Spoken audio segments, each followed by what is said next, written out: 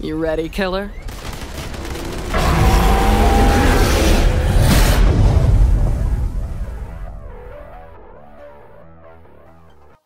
Hallo und herzlich willkommen, liebe Gaming-Freunde. Hier ist wieder euer Goodie mit einem weiteren Video zu Borderlands 3. Oder man könnte beinahe schon sagen, endlich mal wieder einem neuen Video zu Borderlands 3. Da war es ja momentan in der letzten Zeit relativ ruhig gewesen. Es gab ja auch nicht, ehrlich gesagt, so viele Neuerungen, so viele Änderungen. Aber jetzt lohnt es sich richtig, denn Gearbox hat wieder rausgehauen. Und zwar gab es bereits am Donnerstag einen relativ fetten Patch. Und da werden wir mal reinschauen, was sich da alles geändert hat. Denn das ist wirklich sehr, sehr massiv, muss man sagen. Und zwar gibt es eigentlich von vorne bis hinten nur Verbesserungen. Das ist natürlich auch schön zu hören. Wir haben nicht wieder irgendwelche Schreie nach Nerfs, sondern alles, was geändert wurde, ist in meinen Augen sehr, sehr sinnvoll. Wir beginnen zuerst mit dem legendären Feuermodus für den Fabricator. Ja, das Ding, was bei euch in der Bank verstaubt, dort zum Glück aber keinen Platz wegnimmt, hat jetzt einen legendären Modus erhalten.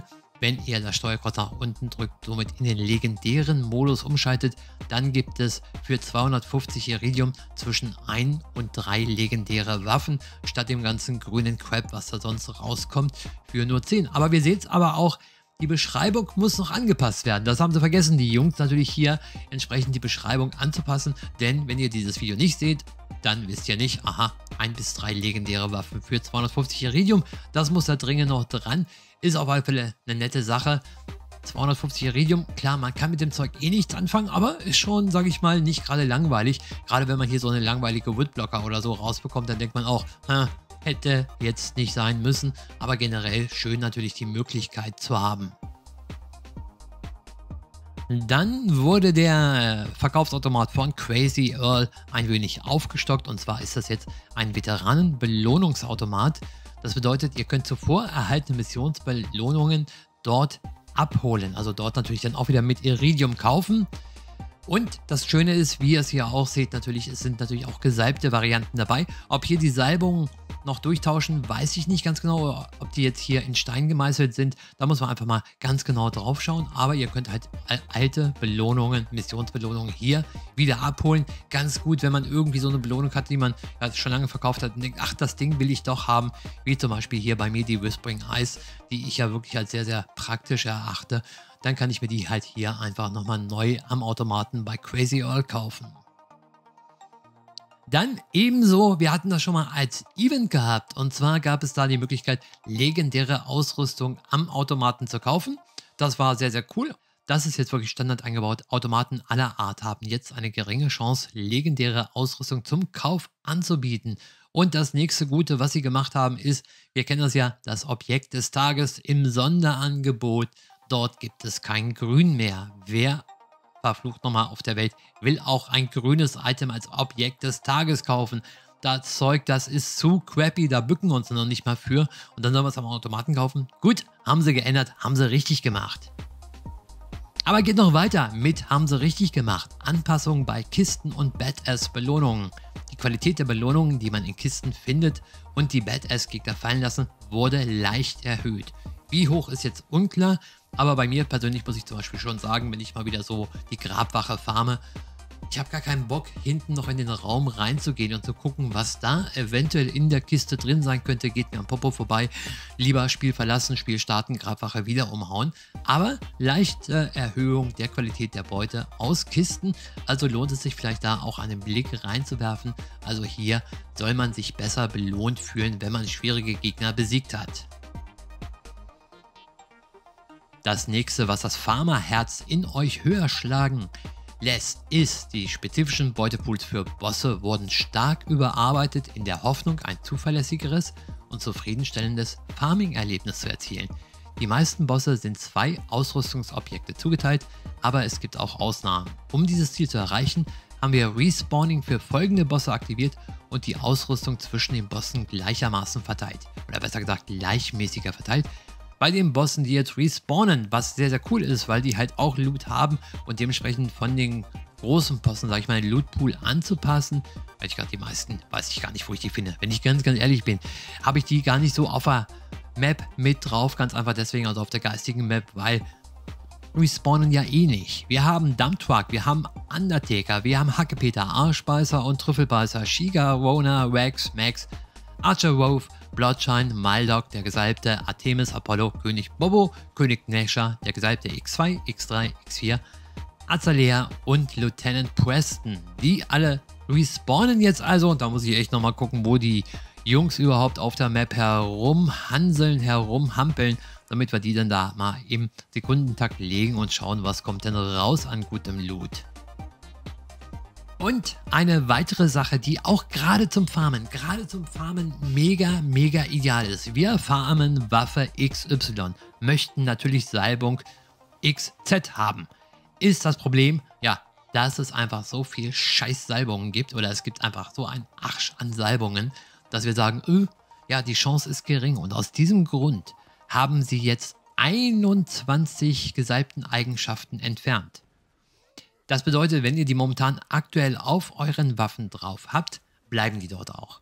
Nur, sie droppen halt nicht neu. Ne? Wäre jetzt auch Schwachsinn, euch die Salbung wegzunehmen und dann irgendeine zu geben, die ja, ihr gerade richtig scheiße findet und bei der anderen habt ihr gedacht, ach nee, die ist nett, weil es sind natürlich bei den Salbungen auch die eine oder die andere Variante dabei, wo man sagen kann, ach ja, ist ganz nett. Aber gerade der neue Takedown sollte ja eigentlich die Salbung mit in der Luft ja, nach vorne bringen, bei euch beliebter machen, bei uns beliebter machen, ist, glaube ich, nicht eingetreten und dementsprechend werden die jetzt auch entfernt. Ich haue euch mal alle Salbungen hier einfach mal im Hintergrund mit rein, damit ihr seht, welche entfernt wurden. Denn wenn ich die euch jetzt alle vorlese, bei 21 Stück, wisst ihr selber, dauert eine Ecke, machen wir nur unnötig lange. Eingeblendet reicht das vollkommen aus. In der Luft der kritische Schaden 25% erhöht, ist weg. Schaden um 30% erhöht, ist weg. Feuerrate um 20% ist weg und so weiter und so fort. Wie ihr seht es im Hintergrund. Da hat sich also wahnsinnig viel getan. Am gesalbten Pool eine Sache mit einem dicken, fetten, fetten Daumen nach oben von mir. Definitiv finde ich richtig mega. Da wirklich halt, wie gesagt, beim Farmen 21 Salbungen, die wegfallen, die ihr als Schrott auf der Waffe haben könnt, die schon mal nicht droppt. Also, das ist definitiv fürs Farmen einfach mega, mega geil. Und wenn wir schon beim Farmen sind und beim Droppen, bei einigen Bossen wurden leichte Veränderungen vorgenommen, um ihr Beuteerlebnis zu verbessern. Aber die meisten Dropraten sind unverändert geblieben. Mit der Ausdünnung des Beutepools und der Entfernung von 21 gesalbten Eigenschaften haben wir uns entschieden, diese Änderungen erst zu beobachten und notwendige Anpassungen dann später vorzunehmen. Ist ehrlich gesagt, sage ich mal, eine richtig kluge Entscheidung. Eigentlich kann ich gerade schon wieder den Daumen nochmal virtuell nach oben recken und sagen, ja, guter Gedanke, erstmal schauen, wie kommt das Ganze an, wie, ja, wie spielt es sich, wie ist die Erfahrung der Community, um dann, ja, steuernd einzugreifen statt erstmal zu steuern und dann anschließend gegenzusteuern. Das wäre ja Riesenschmarrn. Und der Rest wird dann relativ langweilig, langweilig in dem Sinne, dass es immer wieder Sachen sind, die halt ja mal auftreten können. Bei keinem Auftreten, bei vielen Auftreten, wie auch immer. Bugfixes, Bugfixes ohne Ende. Ganz viele Sachen, zum Beispiel Behebung eines gemeldeten Absturzes, der im Splitscreen auftreten konnte, Reduzierung der Partikel, die auftreten, wenn man mit verschiedenen Elementen Schaden bei Gegnern verursacht Wobei hier eine Sache natürlich vom Damage sich ein bisschen auswirken kann. Und zwar Projektile prallen jetzt nur noch viermal ab. Wir haben angepasst, wie Projektile durch Schadensereignisse auftreten. Wir haben Spitzen bei der Stabilität und Performance-Einbußen festgestellt. Wenn während des Gameplays zu viele Elementarprojektile auftreten. Ich glaube, das kennt wirklich jeder, also jeder Konsolenspieler wahrscheinlich, der schon mal wirklich Multiplayer gespielt hat, der weiß genau, wovon hier die Rede ist. Das war ein wirkliches Performance-Problem. Da haben sie dran gearbeitet das lag daran, dass einige Waffen weit mehr Projektile spawnten, als für die Performance ratsam war. Also hier geht es wirklich recht, wirklich rein um die Rechenpower, die halt überbleibt für das Spiel. Und betroffen sind also Waffen, die Recursion, die Carrier, die Bearcat, die Lead Sprinkler und andere. Andere sagen sie nur noch allgemein, es gibt ja nur eine ganze Menge Waffen mit abprallenden Projektilen. Und da werden sie das jetzt auf alle Fälle beobachten, wie Spieler diese Waffen benutzen, um daran dann eventuell weitere Änderungen vorzunehmen. Aber beim Rest haben wir dann wirklich nur noch reines Bugfixing, wo halt irgendwelche Sachen aus irgendeinem Grund irgendwie schiefgelaufen sind. Ich mache das einfach so.